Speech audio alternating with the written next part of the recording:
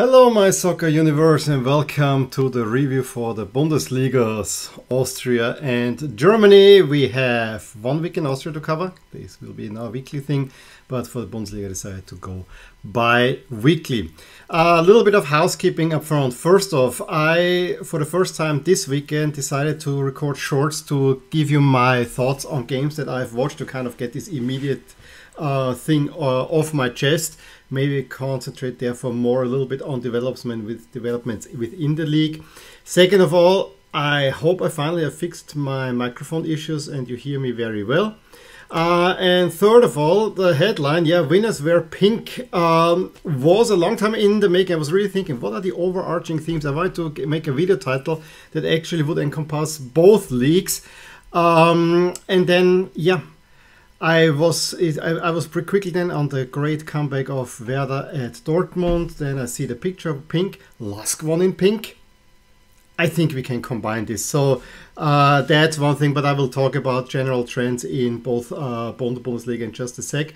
And then the pink also leads me to my wardrobe choice here, and probably this should be the first thing that I should touch in this video, is uh, the fan protests by Lask because you know it's my team. So I probably should talk about it.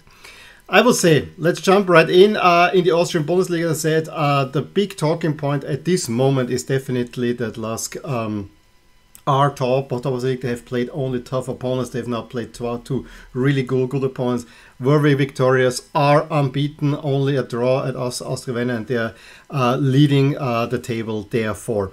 And every and while the game itself was a rather tense affair, where little things could have swung the game in either way, it swung Lask's way, who had a very Italian performance, and we'll talk about that when we go through the Bundesliga results. However, the big um, talking point among the fan base is that Lask played in jerseys in two shades of pink. And I personally have to say, I have nothing against pink per se. I actually think, in a way, it's a genius move to get the, you know, you sell a lot of uh, those jerseys to female fans, and both of my girls definitely want to have pink jerseys, and my wife uh, also wants to have soon a pink jersey. So I get that. However, the protest is not uh, is not against the color of pink. It is that pink is not one of the club's colors, and as a one-off, one might accept it. However, this pink is very much uh, related to the sponsor BWT. That's why uh, the fan base is going AWOL on it. Uh, so much that they missed the first 19 minutes and 8 seconds of the game because of the founding uh, date, and then uh, held up signs that yeah, we want to have these jerseys as our uh, alternative with uh, white with black stripes for home, black kit as an away, and then um, you know the pink, and they say they would like to see that. I I actually wouldn't mind an all red Lask jersey because that's something that's missing in my collection for sure. So yeah, I decided I do actually agree. It's getting a little bit much with the pink jersey. I think it's now the fourth season where there's a pink jersey, and while the first ones looked actually all right, now we're getting to, to, to a point where uh, the look is quite questionable. However, in the pink jerseys, they actually perform well in the league. So um, there you go. Now, going to the Bundesliga, uh, German Bundesliga, it was really hard for me to find an overall theme. You know, with, I like to do it in two weeks um, chunks because that actually allows me to uh, really look at overarching trends. But to me, I mean, one trend for sure is that Bayer Leverkusen have an awful start to, to, the season. Now, two home home games, two shock losses, and uh, is already under serious, serious trouble. On the opposite end, I mean, how Bayern is playing around with the uh, league, yeah, it's impressive on one side, but it also doesn't look good for, for, for the league overall because you had such a great Saturday. And I said this in my short short. It's such a great Saturday. And then Bayern just goes to uh, Bochum and scores 7, 15 goals in the first uh, three games. It's just ridiculous what they're doing. And therefore, yeah, um, you basically can send the title already to Bayern uh, and then play for second place. Dortmund also, um, while they got a lucky win at Freiburg, uh, what how they lost at home to Werder Bremen, that's I think a big, big, big story. Um, and I think we see the same frailties in Dortmund already that we that plagued them last season. But to me, the most positive thing, and I usually try to go for uh, positive headlines for my videos. The most positive thing are the two promoted teams, Schalke and Bremen, doing really, really, really well, and uh, Schalke now um, having two draws. Um, where arguably they probably should, should have had already one win. And in, in addition, Werder, Werder Bremen playing uh, actually quite nicely um, in Dortmund. Uh, at home at Stuttgart, against Stuttgart was not so uh, great, but again, scoring a late, uh, late goal there to get a draw. And now again, draw, um, turning around the game in the 88th minute. Dortmund had a 2 0 lead that was not deserved at that, that point. Werder played really, really well, and then Werder scored three twice in stoppage time to turn the game completely on its head and give Werder the deserved win. And I had already a feeling that uh, this is a promotion class that actually might stay in. And for me at the moment, I think both teams look so so enough that they will prevail in the Bundesliga. And then we have to see how it how, how it's going forward. Um, I think Bochum is in serious trouble, and then we have to see who else might be in there. Let's go look at the results of uh, the past week in the Austrian Bundesliga. Um, the first result, of course, is the Vorarlberg uh, derby between Altach and Lustenau. Nominally, those are two different towns. However, they are closer together than the two Vienna teams. So this is a real derby, and it was great atmosphere. It was atrocious weather. We had uh, really bad storms in the west and the south of Austria, and the second half was basically a deluge there. Um, took an early lead um, um, that um, Lustenau could equalize, but the longer the game went on, the more Lustenau uh, got through it and uh, got an in, in the end. I deserved it. It deserved it. Altach just couldn't hang on. A little bit controversy surrounding the win of Salzburg against Klagenfurt, which was all but expected. But uh, in the lead up to the first goal, which came in the, only in the 51st minute, there was a clear uh, hand play by Wöber in the um, box of Salzburg. It probably should have been a penalty. Wasn't even looked at, and so Salzburg runs, runs away 2 0 winners. I already said a little bit about uh, Sturm against Lask in a short video. Again, I think it was a very Italian performance by Lask. It was a very physical game. I think uh, defensively Lask was very solid. Offensively, uh, basically not very, very, very present. Only half chances. Sturm was definitely had definitely more chances up until the goal. One could even say that the shot by Nakamura. It was not the first shot on goal by Lask, but it was the first real chance. However, how passive that defense was uh, by Sturm uh, played a role there as well. I was a little bit annoyed that uh, yes, Sturm then had a few chances to equalize, but you know with a little bit um, more calm build build build, build play. Uh, or a little bit more direct, uh, one could have probably even scored a second goal. But you know, win is a win. Uh, it looks really, really good what Lask is doing at the, at the moment, and that to me is the most important. Um, and now the schedule eases up a little bit, which might be tricky as well. But you know, for me, having two Lask shirts in this video uh, was a no-brainer in a way. Uh, I really cannot tell you how much I'm disappointed that Rapid had their game postponed because they're complaining already. They have a squad where they have every uh, position doubly and they complain that there are too many games, too too too, too many injuries. But what should Wolfsberg and Austria Wien say, who just played in Europe? Uh, now they have to play each other, and they have really tough games as well. So this doesn't make any sense to me. Uh, Ried losing at home to, to Tirol puts them in, in trouble as well. Um, Austria Wien was probably the second best in the first half, got a rather lucky equalizer, but then in, in the end deserved their win with a really good second half. Wolfsberg already in early trouble. They're a little bit like Leverkusen in Germany, and yeah, one does not look forward to that. Uh, so if we look now uh, the standings again after five rounds, you can tell a little bit. It's still Salzburg is just a point behind. Handlask is still very much the favorite there. Austria Lustenau is an amazing story. They're a promoted team.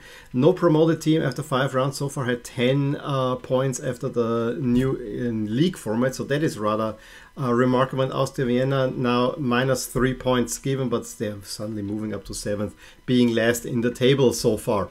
Um, in the expected regular season standings, you don't see many changes up, up top. On the bottom, it's a little bit more tight, um, and it's also interesting. Sturm is just a slightly better rating. Gets they will just stay ahead of Lask for now in the expected final standings, which I would see Austria Vienna making a return to the top six for now, where Austria Lustenau is also in there.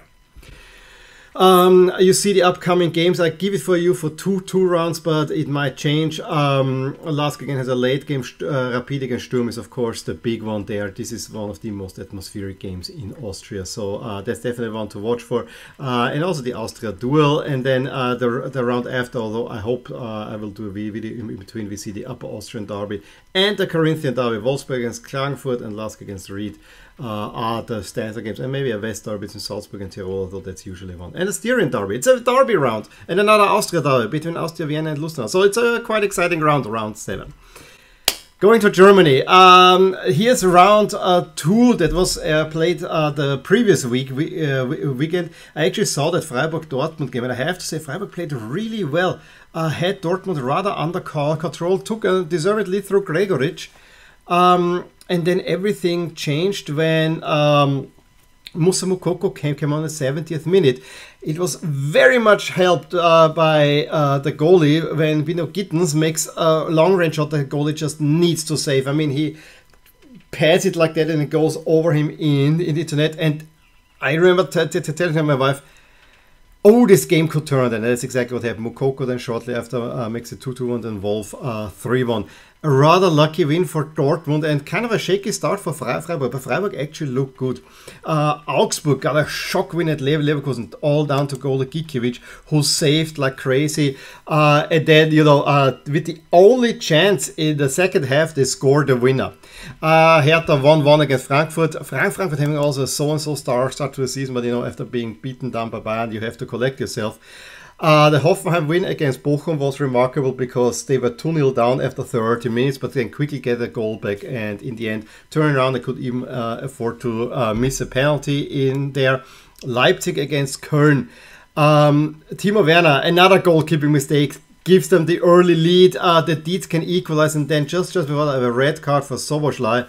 That was not a red card, to be honest. Um, turns the tie towards uh, Köln, who have many chances, but still find themselves down to a goal through Nkunku. But they get then the equalizer to Guardiola and probably could have even won one, one. But maybe, given that the red card was not quite right, I think the result was a fair one there.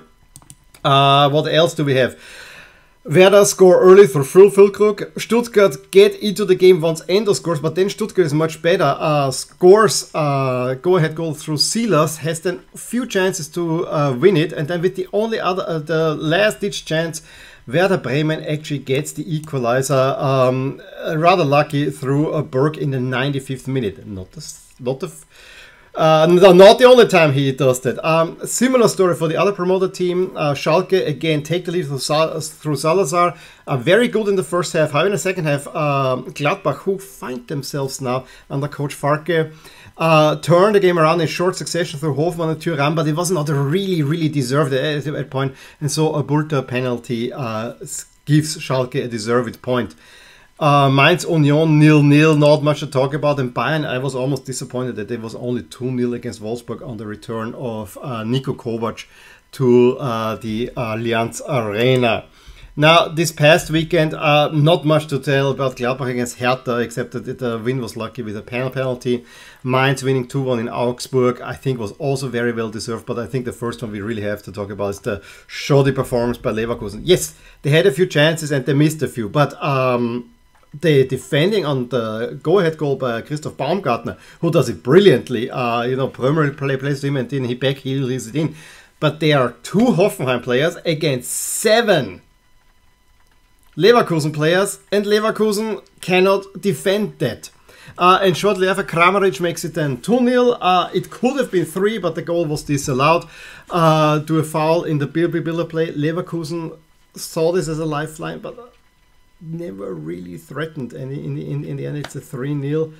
And Leverkusen looks in deep, deep trouble at this point uh, in a season where they really thought that they have a good chance.